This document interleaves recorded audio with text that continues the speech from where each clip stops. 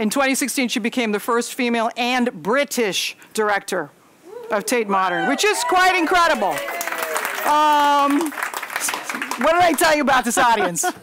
they're, they're unruly, but they're enthusiastic. Okay.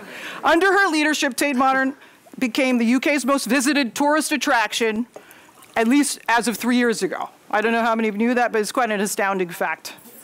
Uh, as you can see just now by her actually shepherding you back to the tent, uh, Frances is not someone who is, uh, she doesn't stand on ceremony. And that said, being state schooled and a champion of diversity, she has never been afraid to shake things up. Um, so it began with a groundbreaking rehang of the Tate's permanent collection when the museum moved to the Turbine Building in 2000, where she grouped art by theme rather than by historical period. And since then, that practice has been imitated the world over. So I'm excited to moderate the session because when I first met Frances and invited her to EA Festival, I said, let's tackle the most thorny, difficult questions that are confronting art museums today. So, to begin, no, but we're going to have fun, of course. That's, like, that's the number one imperative for today. So not that this is a, this is a question that's L-I-T-E, light. So Frances, what are the biggest challenges that museum directors are facing these days? Well, firstly, audiences like this. Just going to be super critical. Um, no, uh, well, uh, COVID.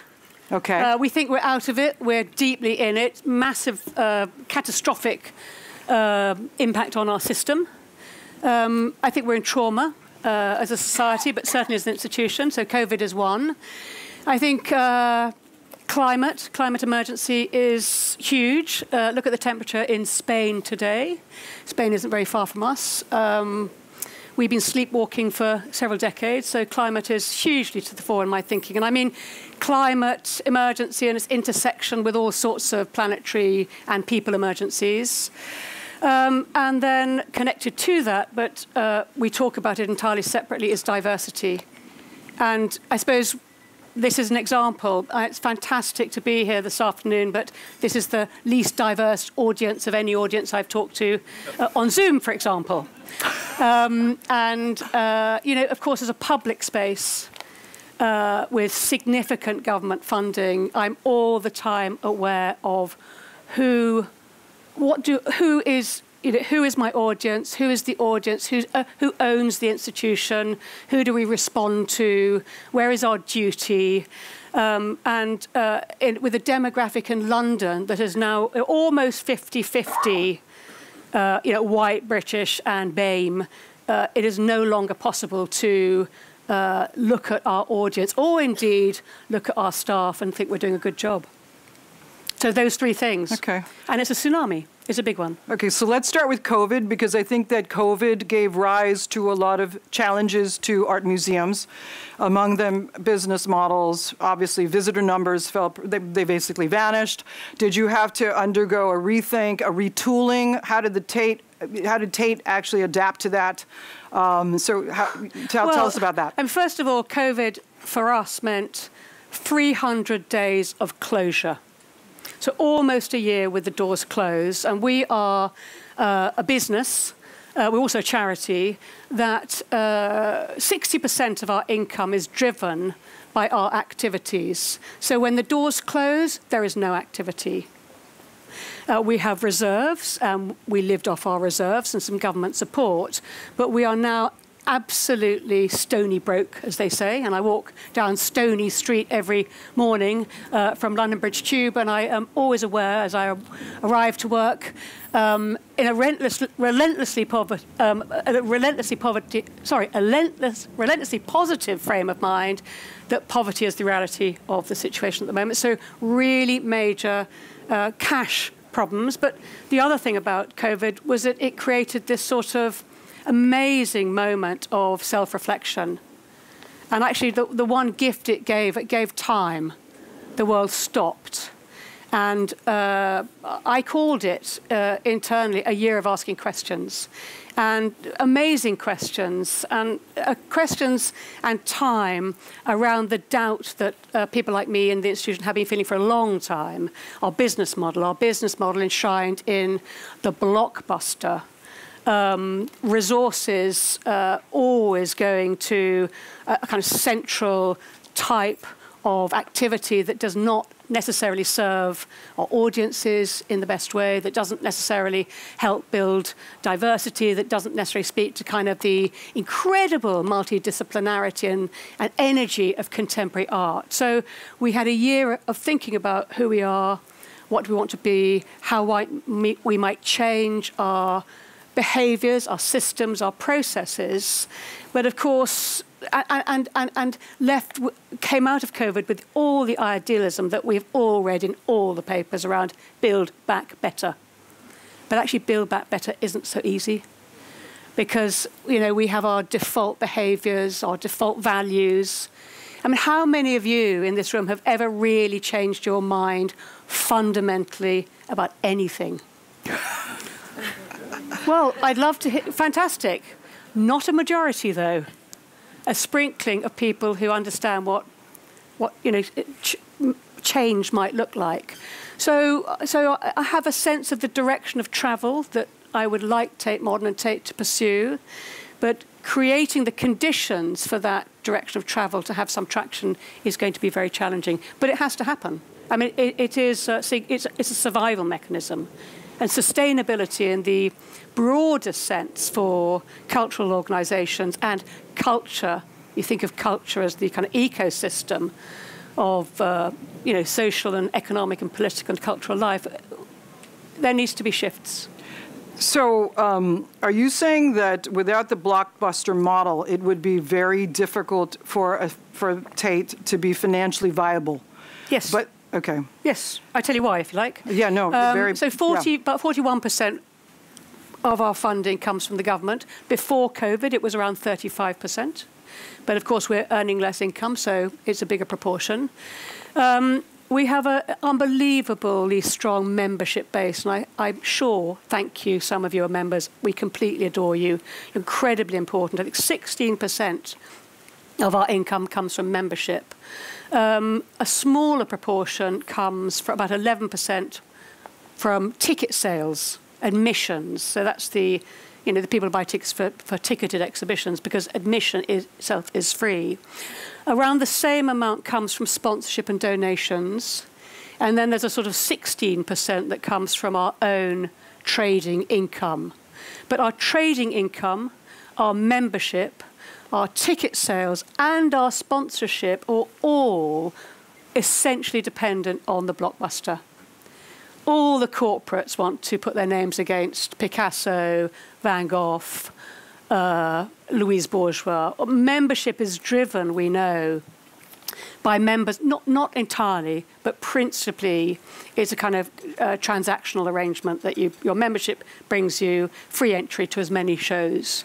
And then we also know that trading in our cafes and restaurants and uh, bookstores is like this in terms of you know, blockbuster exhibition, non-blockbuster exhibition. So within the institution, there's, and outside the curatorial teams, there's the, the, the pressure is on to keep the system afloat through the blockbuster. So, but, but in all other aspects of what we value about a museum, you know, a, a engagement with art and ideas, uh, social engagement, collaboration, uh, participation, uh, exploring new horizons, uh, traveling, mind traveling, breaking with one's, you know, expectations, all those incredibly valuable things are not met by blockbuster exhibitions and are, I think, supported by about 1% of our funding cake. And it just seems to me such an incredibly important thing to address that balance you know, for people, uh, for art, for sustainability, for the world, for our future. Because this diminishing returns in always returning to the same artists, for example. We have to expand. I mean, literature has done such an amazing job. Publishing has been so incredibly um, adventurous and expansive. And even just the, the books that, and material we've been discussing here today. And we have to do that in the Art Museum as well. Now, I want to ask also because you have been um, a veteran, you're a veteran of the museum industry, How does this compare with the challenges of 20 years ago? When was it still dominated by blockbusters? Has the landscape of viability changed since then? Well, it's, it's, a, it's a, really good question. I mean, 20 years ago, what, what the really significant thing is that the public purse has been getting smaller and smaller. Smaller and smaller. And when I first joined Tate in at the end of the 80s as a very uh, uh, a rookie curator, we were pretty much fully funded. Uh, wow. We didn't have a development office. We had a, a handful of patrons, uh, amazing supporters of Tate, and doing, enabling us and pushing us to get to the 20th century a little bit earlier than others might get to it. They, they forced our hand with the Turner Prize. They helped us set up a, a patrons a, a, new art room for um, commissioning. But essentially, we were a governmental body uh, with, with full funding and with a great deal of money to spend on acquisitions. And during the 80s, uh, under Sir Alan Bowness as director, we bought incredible work. I mean, really astonishing, stellar, surrealist masterpieces. And then uh, I suppose you know, through the, uh, the, the neoliberal era, uh, meant a shift from uh, public funding to enterprise. And it wasn't all bad. Actually, that idea that you've got, you've got to be hungry uh, fueled a, a, a, wonderful, amazing development at Tate. You know, two new Tates in the regions, Tate St Ives, Tate Liverpool, and then, of course, the whole of Tate Modern. And none of that, I think, would have happened had we been a kind of... Um, uh, government funded governmental because it because it also you know it did lead to a sense of sort of uh, complacency or, or satisfaction that with the world. And there's nothing like a little bit of distraction to drive change. But I think you know, so uh, so when we opened Tate Modern in 2000, there was there was just a happier balance, and it was also at a point where uh, we were still, you know, pre 2008. You could you could raise a lot of money, and what the job I did before I became the director of Tate Modern was I was the director of the collection. Uh, international collection, and on the back of opening Tate Modern with this thematic hang, one of the reasons we did the thematic hang is that we wanted to get away from uh, the stranglehold of a rather poor quality collection that had been acquired around a kind of canon of modern and contemporary art written by Alfred Barr in America to suit the 1930s. And it felt like at the beginning of a new century just to tell the story of art in America and Europe through a focus on abstraction and a kind of formal uh, ideas of kind of like form rather than subject matter was the wrong thing to do. And so we wanted to kind of like break with history, not to throw history away, but to uh, encourage people to think differently about um, art. And one of the things that then that yielded, of course, was the massive absence from the collection of art by women. Uh, of art made using lenses, no photography, very little film. Um, and no art by artists from outside Western Europe and North America. So, as uh, director of the international collection, my kind of like uh, vision really was to take uh, that uh, brief and begin to bring in art from other parts of the world that would challenge the kind of Western narrative and do so in a, a really dynamic and expansive way uh, to address the fact that, you know, Britain is an extraordinary international uh, community and that almost no British art in the 20th and 21st centuries has been made without very strong conversation and networks with international artists. So, uh, and we were able to do that. I was talking to uh, uh, uh a colleague from associated with First Sight earlier because it was possible in 2006 and 2007 to have a meeting with a patron, a lunch, and as coffee arrived, I could say to that person, whether they were from Bangladesh uh, or uh, uh, Mexico uh, or Poland, I could say, I wouldn't be doing my job if at this moment I didn't ask you to step up and join our new committee of Eastern European collectors. And we, there was a moment where you, we could just suddenly bring on and develop this fantastic uh, support network, um, which really helped uh, generate uh, this collecting activity at, at, a moment in time where the state support, government support, was beginning to just diminish. Uh, but that trajectory has gone on and on, really. And so we feel at this moment in time, where it is the landscape for fundraising is more and more fraught. It's a high risk venture to challenge the kind of honeypots like the blockbusters. So there's huge nervousness at a place like Tate and across the sector in, in breaking with, with that convention. But there's also a, huge appetite and interest in how we might do it because of the, the yields to uh, our audiences and to ourselves and colleagues if we were able to do that. So, all that said, there was like a welter of questions thrown up by your remarks. I wanted to ask you so, it sounds like you wouldn't want to be fully funded by the government, and yet you're hinting that perhaps they're the calls of these numerous stakeholders, many of which are corporations or just the consumer in general, have become too um, exigent and threaten to, well, they, they, they almost force you into a corner to do these blockbusters for financial reasons. What is the right, what is, where's the middle ground? What is the right balance?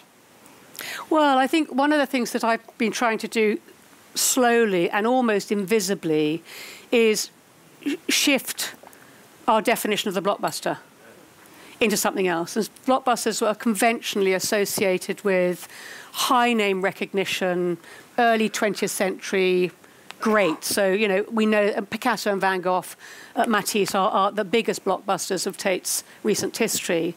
But it's quite clear that the public, and particularly a younger public, have a huge appetite for what I might call zeitgeist shows. So, uh, between the life between the islands at Tate Britain, around the Caribbean recently, Soul of a Nation at Tate Modern three or four years ago, which looked at African American uh, art and, and, and, their relationship to civil rights movements are proving really extraordinary draws.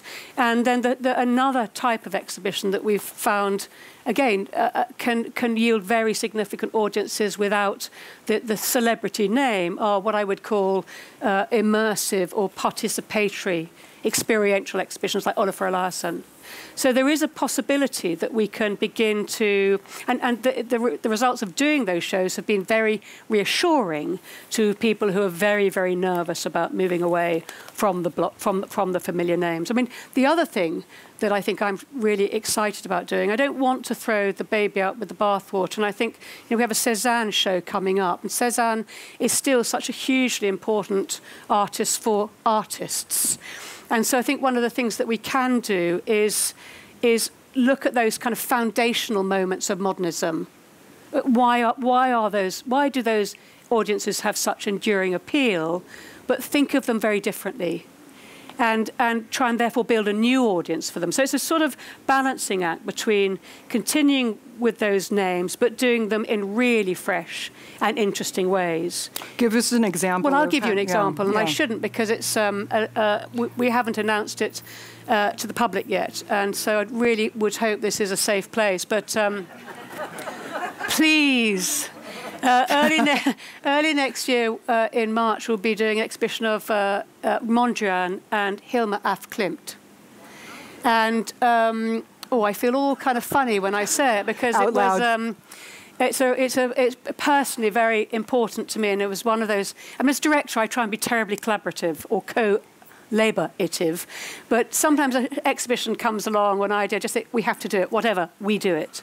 And I managed to persuade Briony Fer, who's the professor of art history at UCL, who's a, a Mondrian expert and is absolutely renowned as a kind of modernist expert. So she's somebody who's reinforced this idea of a kind of particular canonical thinking. So for her to come and work with Hilma af Klint is really radical. Anyway, so I persuaded her that we could embark on a venture of rewilding modernism. And what we're going to do is we're going to unpack, I hate that word, but we're going to look, these two, two artists from very different, see, see, seemingly very different places, but who both have, make claim, or could, we could claim that individually and in different places they invented abstraction. But they both have, and they're very, very different.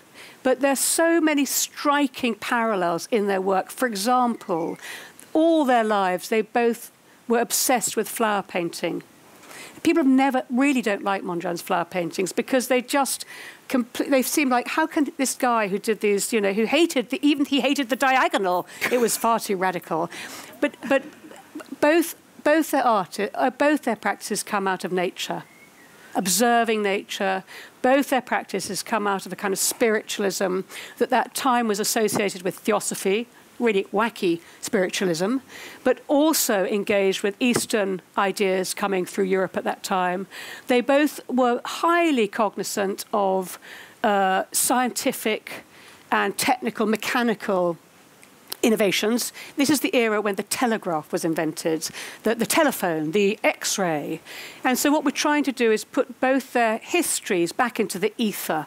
This kind of early 20th century extraordinary period of innovation across the arts and the sciences, and see them as products, not in the case of Hilma, just of a kind of Swedish spiritual community, and Mondrian not just as a kind of proto-modernist abstraction, but that these these kind of these are, these are powerful roots out of a really rich kind of uh, you know ecosystem. So it's returning. Actually, it's opening. It's opening the whole thing up, opening up art history to to different approaches, and for me that's incredibly exciting. So it that could have amazing. been just Mondrian you know, the squares, whatever, but it, it will be a different kind of Mondrian. No, I, I, think this sounds amazing because the curation is actually the center of the enterprise, and yeah. it's the reason that it becomes a blockbuster, which actually is very makes me very optimistic. I mean, I, I think the other th- sorry. No, go ahead. The sorry. other thing to say is that you know over the last uh, building the geographical scope of the collection has also gone alongside a commitment to really committing to 50% of women in everything we do, in the collection displays and the uh, exhibitions. And slowly, over a 10 year period, the numbers coming to those exhibitions, slowly but relentlessly arising because suddenly people get it and they think, oh, this could be interesting. I've never heard of Dora Maar, but I think she was Picasso's. But I'll go and see it because I really enjoyed um, uh, Saloua Raouda Choucair, or I really enjoyed. Um, I'm trying to think, I'm, I'm doing a blind, but you say that you build confidence around categories of artists that then people say, I'm going to enjoy this because it's a Tate Modern show, so this woman's going to be a great artist.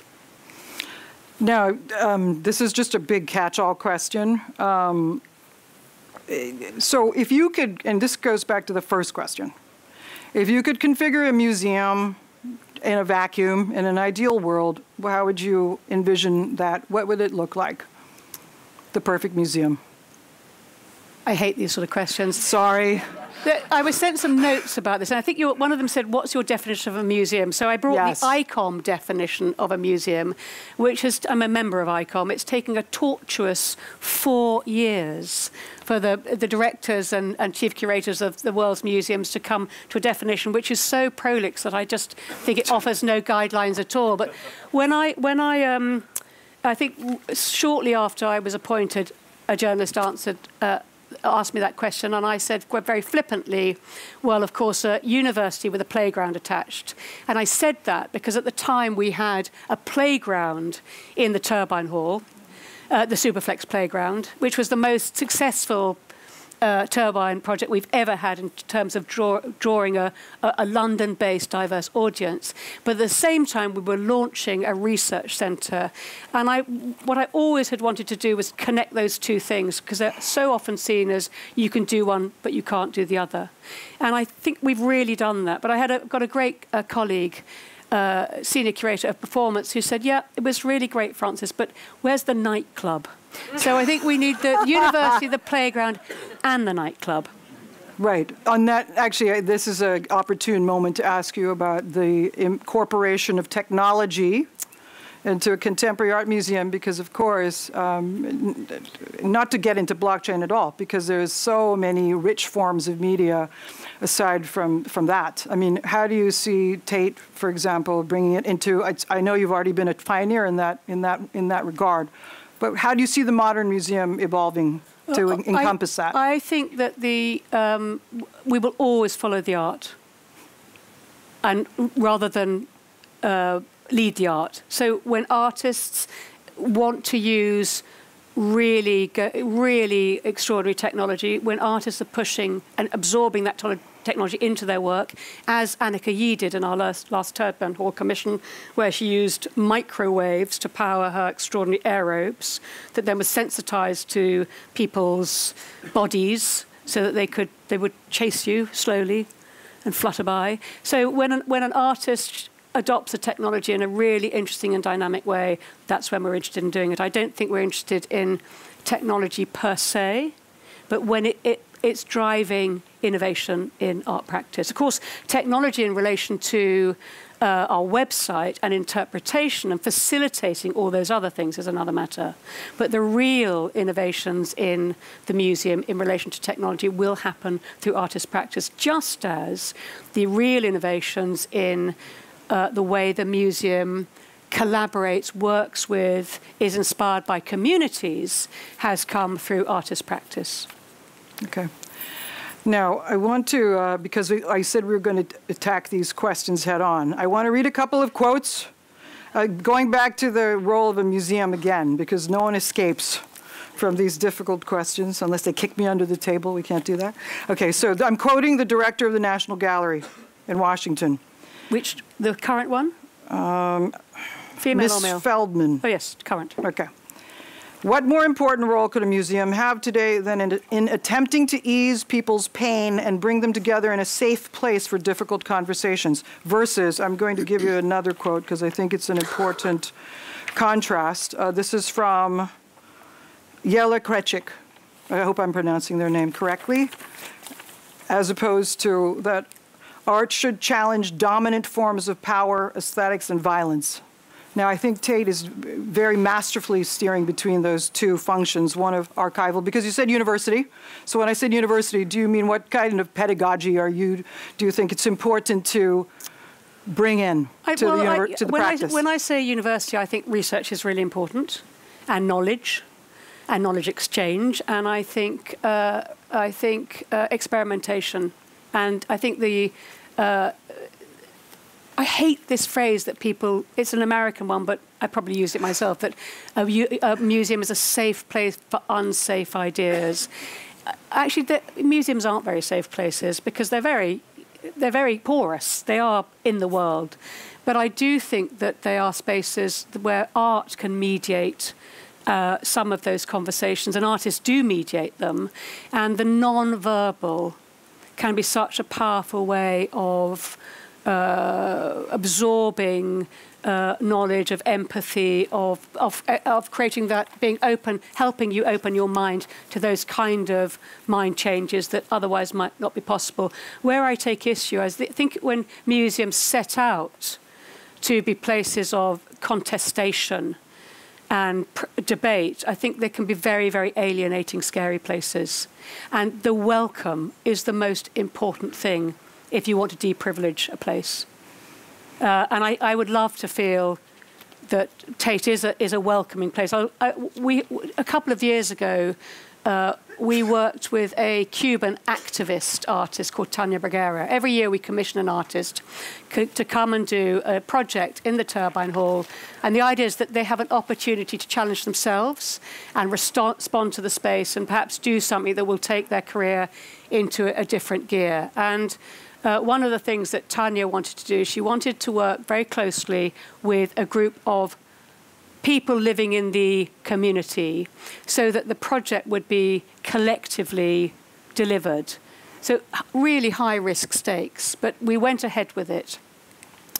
And um, we were able to work uh, with Tania, via Tania, with a number of activists who were so uh, antithetical to the Tate's position including, for example, a number of the really militant uh, climate activists who had some years earlier been the ones who'd been into the Tates, poured oil over the floor, had chanted, get BP out. So people who they thought of us as the enemy, and we probably thought of them in a way as the, not exactly enemy, but we, we, were, we lived in fear of them.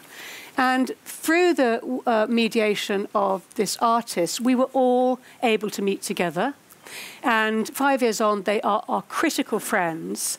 And the project that they uh, did and made us helped that we helped them achieve was, I think, the most radical and the most fascinating of any project. And that was that during the course of the conversation, I had to meet with them. They challenged me on every point. It was terrifying. Who is on your ethics committee? Why is it only those people? Can we be on your ethics committee? Why does your governance say this? You know, really, really. And then they said, and why are we meeting in the Blavatnik building? We want you to take the name of Len Blavatnik off this building. That's our project. And of course, I thought, how can I do that? He gave us 10 million pounds only 18 months ago. So, thinking on one's feet, I said, we, can't, we can't do that. I told them the reasons. We have to get real. And I said, but you can put a name on the other building, the original building. I thought, oh, will the trustees agree with me? But they did agree they agreed, they said, well, let's do it. We'll do it for a year. And so this activist group went away with the artist Tania Bruguera and they elected a democratic election of local people, a local uh, community worker, Natalie Bell. Completely unknown, but absolutely stellar, inspirational, kind of the, you know, the, the, the, the salt of the earth, but a really extraordinary woman who, who helps run Coin Street on the South Bank.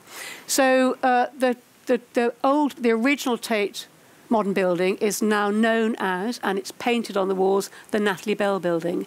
And what was so brilliant about that project is that they, those group of artists helped me, and in due course, everybody at Tate helped us envisage why we value and that we should value the gift of, you know, the sponsors. It's really important to have people who will help us build our buildings and run our programs. But at the same time, and of equal, if not even more value, we value community and we value the people in our neighbourhood who, who make the thing tick and who are our friends. Now, you alluded to that particular project being very high risk because it was kind of open ended. What is the biggest risk you've taken um, since helming Tate Modern? that ended up being a gigantic success uh, unexpectedly or in a calculated manner, but just the biggest risk you've taken that's ended up paying off big? Or is it that? This was not on my prepared list of questions. It wasn't on your prepared no, list of questions. No, do not it, kill me. I think it probably was that. Oh, it probably was that. Um, and uh, the best thing about it was after a year, I said, Can we make this permanent? And they said, mm, mm, mm. And I said, Well, at least until I step down from my role. So I really hope that when I do step down, Natalie Bell Building will continue. But yeah, I think that was the biggest risk because it was, reputationally, it was so huge. And our development team was so worried that it would undervalue, it would be seen to undervalue the contribution of people who give money. But actually, what was really so, um, what has been so thrilling is that the people who give money notice these things. I mean, the, I don't think the public do, but when you take a donor through a building, their eyes are on stalks and they're saying, oh, you've lost the Sackler's name. Hmm but you've added so and so's name. And because it's a community of people who give.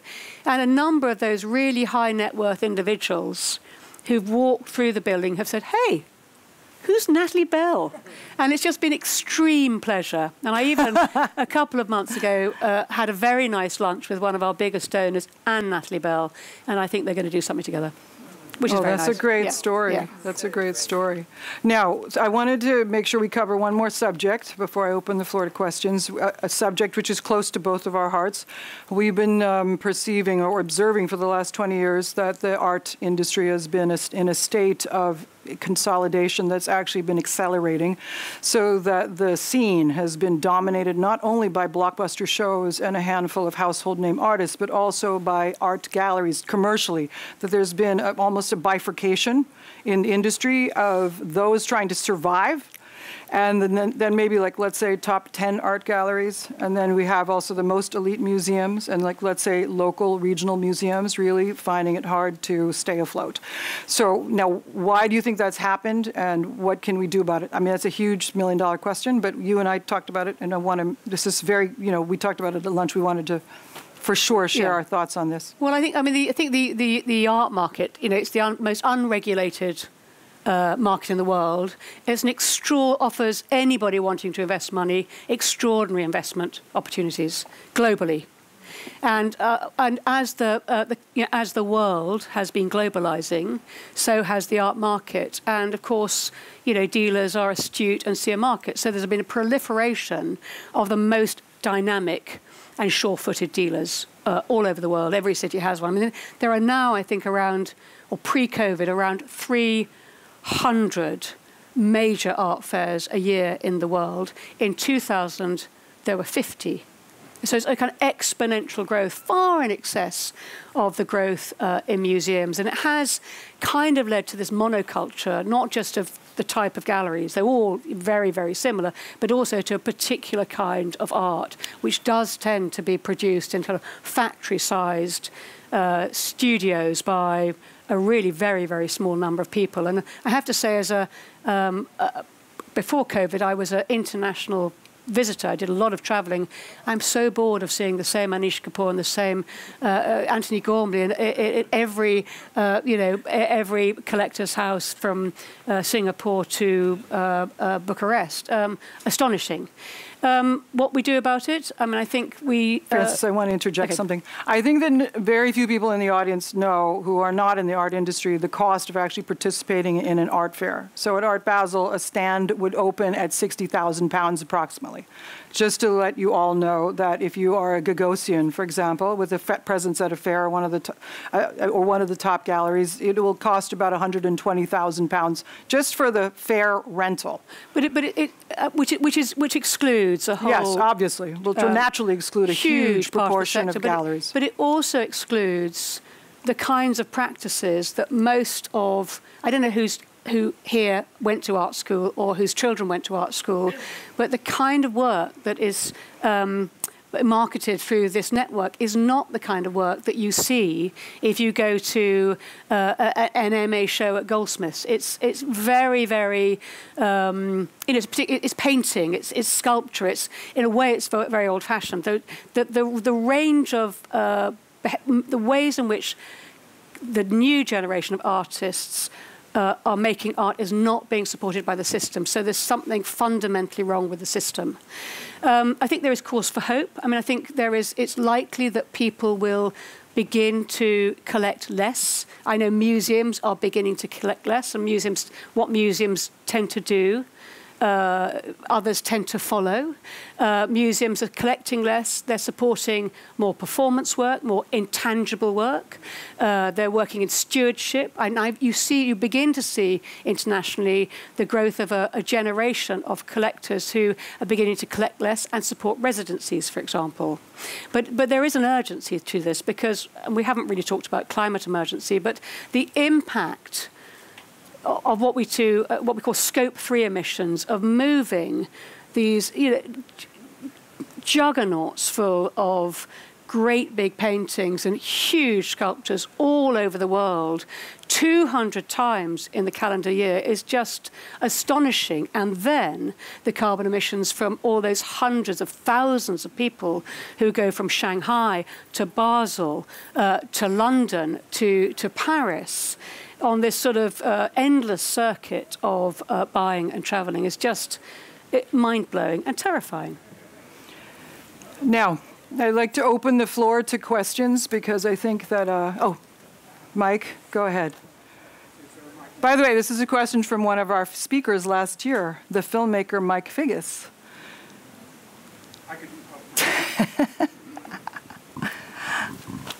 uh, really interesting presentation. Um, you said at the very beginning, you know, asked if we were capable of uh, sort of 360 degree change of mind. It seems to me over the last 20 years, looking at, I say, art magazines from 2000, I was looking at the other day, and then looking at something that came out this month, that the the changes in the world, particularly the internet, have created a fundamental um, shift in what we think is art. Number one. And also the big question is like, do we actually need it anymore? I mean, uh, uh, yes. Going back to the fundamental reason why one would do it in the first place, and therefore, does that relegate, you know, great institutions like the one you're working for into literally into museums, actually the curating of old stuff, for for a memory of what art used to be, um, and in your position, how, how do you feel about what's uh, you seem very positive, but how do you feel about the art world or whatever it, whatever it is now? Because it's it's whatever you want it to be, basically. Well, I think it, I, I think it it always was whatever you wanted it to be, but magazines have changed. But I think an institution like the Tate re- re- responds to the art world and the practice of artists. So there, there, there is less stuff that you will see on the walls, and there's more uh, experience to be had. So it will shift. And I think the danger is for museums that don't shift their behaviours to reflect the interests of artists and audiences. And therefore, there will be museums that are just empty repositories of stuff on the walls. You said, for example, and, and I, I sympathize with it, that your budget only allows you a very small amount of, of the budget to deal with the new stuff, in a sense. Well, that's why we have to change our business models. So we need to shift from investing all our cash into the blockbuster and find room to support other activities on, on those areas. So there is, a, so when I was talking about a, a new type of blockbuster, I mean, okay. and I, it, we could talk about this for hours, but our Cézanne show, for example, we made a Cézanne show in the 1980s. I think there were 200 paintings in it. Our Cézanne show in uh, this autumn has uh, 79 paintings in it. It'll be an absolutely beautiful show but it won't be the blockbuster that it might have been 20 years ago, and it won't cost the equivalent. So we're shifting, and we need to shift people's expectations so that they stay longer with a smaller number of exquisite masterpieces than the charge around uh, with 300. So we're, you know, we're thinking really intelligently. We, for example, I shouldn't say we're thinking intelligently, That's, that sounds complacent. We're really thinking about how to do this. One of the, one of the things we have at Tate Modern this week, last 10 days, is a, we have a performance by a, a Taiwanese, designed, conceived by a Taiwanese artist, Lee Mingwei, uh, which is called Our Labyrinth, which is uh, over the course of uh, eight and a half hours each day, a succession of two dancers very, very slowly sweep up and, and sweep out uh, uh, a, a little hill of rice it's the most completely beautiful, slow thing that you've ever seen. And around these dancers have been on every day, you know, 10, 20, 30, 100 people just watching. And for me, it's the most exciting thing in the world. We bought the work. What we bought is a description of it. Doesn't take up any storage, uh, has no tangible heritage, but it, it's, it's work like that by a, a, living artist that are beginning to make us understand how powerful a museum can be in the future without it having to be have you know empty galleries full of stuff on the walls that nobody's interested in. Thank you. Quickly, how do you see this NFT? People buying art for like. Couldn't get away from that one. NFT, I completely don't understand it. Uh, on the list of questions I was given, I said, don't want to talk about NFTs, don't like them, don't understand them. Um, NFTs are, are here to stay and the blockchain technology and everything. I'm really interested to see what artists are if artists are going to use the technology in a really interesting way. At the moment, they make me really nervous because their carbon emissions are terrible. And I have to say that um, I wouldn't right now sanction the acquisition of a very, very large work made in steel for the same reasons. We're really rethinking how we function as an organisation with sustainability is to the fore. So wait, let's see what artists do, whether they can crunch it. Okay, we have time for one more question. Yes, Sonia. Sonia, is that you? Yes. Yes, Sonia. Sonia Coot Adams. She's the chief fundraiser for the Contemporary Art Museum Firstsite in Colchester. So, and a friend of Frances's. I also wanted to mention that. Thank you. Yeah. What I just wanted to say was the trouble is with your wonderful piece that you've just described, it lasts eight hours. I want to go to an art gallery and I get enormous, deep satisfaction from actually looking at a painting and or another work of art that is actually there and solid and concrete. I don't mean made of concrete, but concrete. Whereas I don't really feel I have time to go and sit there for eight hours watching this performance. Sonia, I- do I feel like going to um, even watch a video for an hour? But the, well, the great thing is you don't have to, because I'm going to pledge. I'm going to pledge here and now that we will continue to show great paintings that you look at. You can look at for two minutes if you like, but we will also continue to show time-based media work. We will have performances because we have a broad and diverse audience, and there are some people who actually want to sit down on the floor, just like I like sitting on a rock on the coast, and they want to look at something that moves very slowly and tune into it. And I think that uh, the most important thing that we have to do is, is uh, we not have a single target audience, but realize that the audience is as, as diverse as every single person who works in, walks in that door. And the, the, great, the great challenge and the great joy is being able to create a, a really rich mix that still has a sense of kind of dynamic coherence. And that's the challenge. Well, on that note, I also want to say that I think um, Frances is one who is masterfully navigating between these two, this, these two competing sets of demands, who's able to successfully square the circle, Uh, which is why I invited you here, because there are not that many who are able to do it so ably and confidently. And on that note, thank you so much Thank you. for spending an, an hour with us today.